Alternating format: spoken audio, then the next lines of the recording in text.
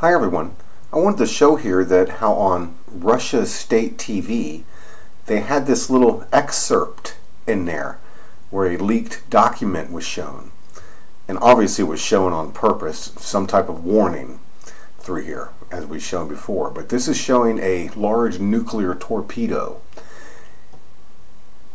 Now this is all the signs of in the Bible of what's known as the Revelation 13 beast that rises out of the sea.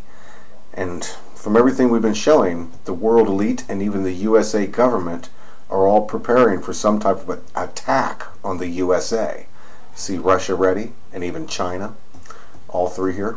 This represents the beast rising out of the sea. Well, I just wanted to show that this is all more signs of that beast out of the sea. They could use this for an earthquake or anything of that measure. This type of thing could even create a giant tidal wave. But you can see right there, they're all prepared for the end of days to begin.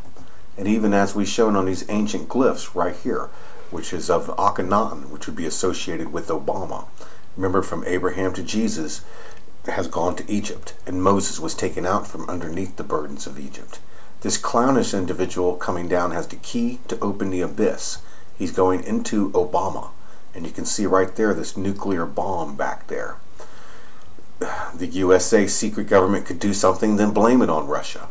And then they all rise up with their new world order and such for the Illuminati. This is even in the patch for the U USS Carl Vinson, the great whore being burned with fire of the Bible. Right there. See the missile everything coming?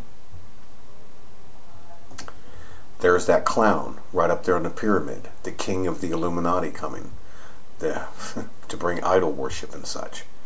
So that's all right in front of us. They have their missiles already, their heart machines, their CERN Hadron Colliders. Everything's ready. I will leave this um, link in the description thing, and may God have mercy on us all. Save water and prepare for World War III. Confess with your mouth the Lord is Jesus. Believe in your heart God hath risen him from the dead, and you'll be saved. Hallelujah.